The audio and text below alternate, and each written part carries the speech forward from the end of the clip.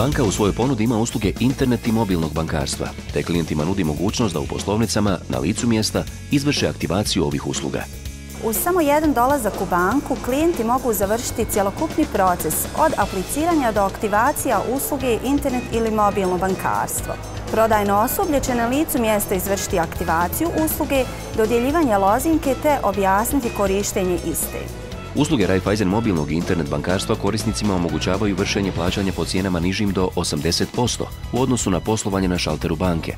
24 sata dnevno, 7 dana u sedmici te maksimalnu sigurnost. Internet i mobilno bankarstvo klijentima olakšavaju poslovanje sa bankom jer svoje obaveze mogu izmiriti sa bilo kojeg mjesta gdje imaju pristup internetu. Više informacija dostupno je na web stranici banke.